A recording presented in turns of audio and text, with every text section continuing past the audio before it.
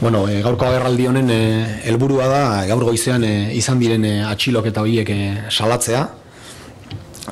Dakigula momentuz bintzate lau lagun e, atxilotu dituzte eta e, bueno, azken informazioek diotenez e, ez da baztertzen e, bestelako e, lagunen bat edo personaren bat ere e, atxilotzea.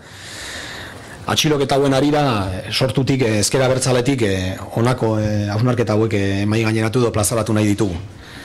Batetik e, atxiloketa hauek e, zein kontestutan eh, ematen diren e, nabarmendu beharreko kontua dela iruditzen zaigu.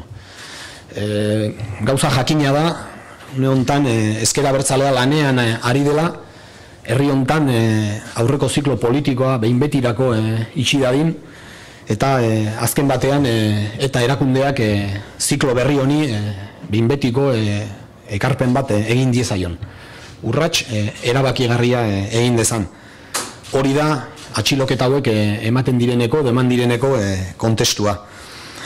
Horrek eh, agerian uzten duena, da azken e, urte luzetan salatu duguna.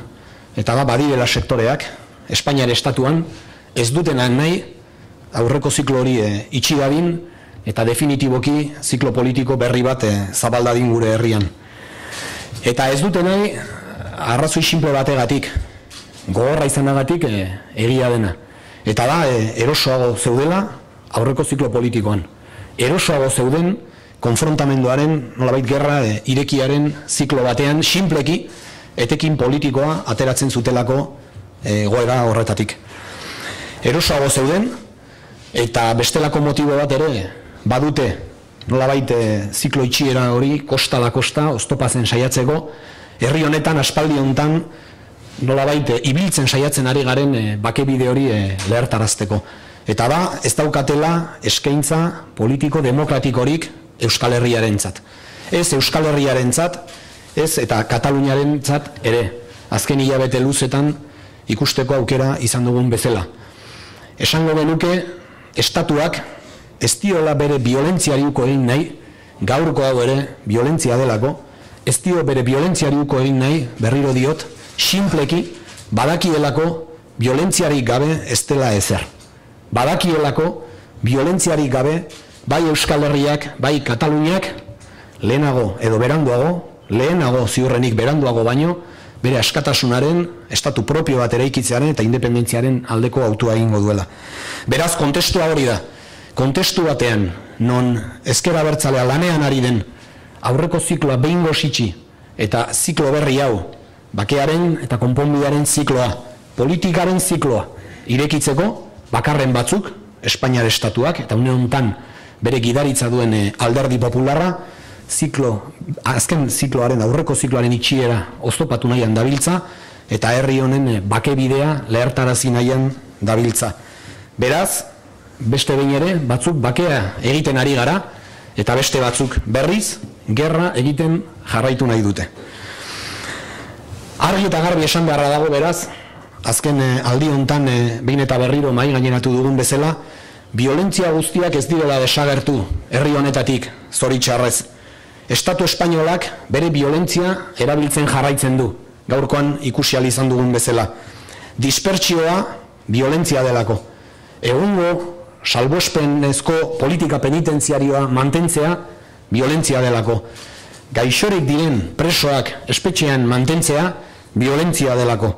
Eta garaien eta garaituen errelato bat inposatzen saiatzea ere violentzia da. Argi eta garbi esan beharra dago. Hemen bakarren batzuk sinetsarazi nahi digute herri hontan ez dela gatazka politikorik izan. Bakarren batzuk eh, sinistarazi nahi digute herri hontan ez dela edo ez direla milaka eta milaka torturatu izan. Edo sinistarazi nahi digute e, gezurutxa direla estatuaren bizkar gainean diren e, azken batean ehunka eta ehunka hildakoak. Estatu bortizkeria, estatu terrorismoaren biktima horiek ez direla existitu edo ez direla existitzen. Hori guztia sinistarazi nahi digute. Eta behin eta berri esan dugun bezala, ezkera bertzaletik esan behar dugu, ez dugula onartuko gezurrezko errelato bat eraiki dadin. Ez dugu onartuko garaien eta garaituen, edo justuen eta injustuen, edo honen eta gaiztoen errelato bat eraiki dadin. Lehenik eta behin, errelato hori Sinpleki gezur borobia delako. Bigarrenik, ez dugulako onartuko, esan bezala, herri hontan estatu violentziaren, estatu terrorismoaren ondorioz izandako biktima guztiak ukatu daitezen edo biktima horiek denak desagerrarazi daitezen, edo torturanen existentzia bera esaterako estali dadin. Ez dugu hori guztia onartuko, baina batez ere, ez dugu alako errelato baten inposak eta onartuko ardura politikoagatik.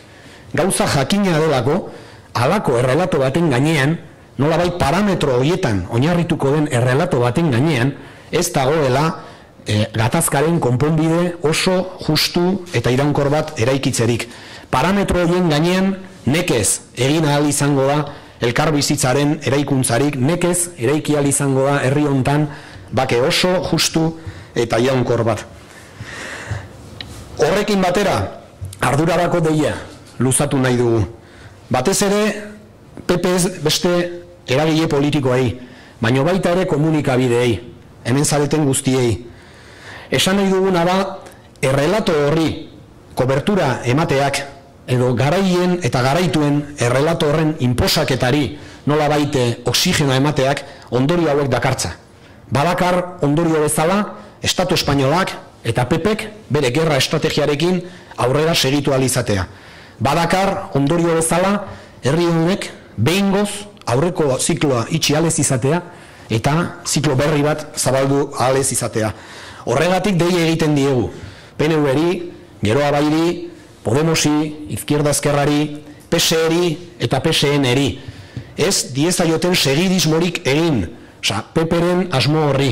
Ez diezaioten oxigenorik eman, bakearen etxaiei. Azken bakean hori delako jokuan dagoena.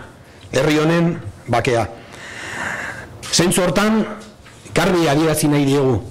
Edo bakearen eraikuntzarekin daude, gaude, edo bakearen etxaiekin guk garbi dugu zein beharko lukeen autuak. Bukatzeko deialdi hainbat egin nahi ditugu.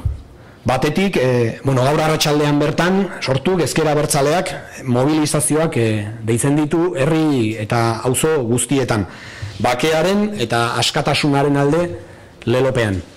Hortik aurrera, bueno, preste agertzen gara, bestelako eh, eragileekin, PPS besteko eragileekin eh, harremanetan e, jartzeko eta egoera aztertu eta guztien artean egoera honi behar besteko edo behar bezalako erantzun bat emateko.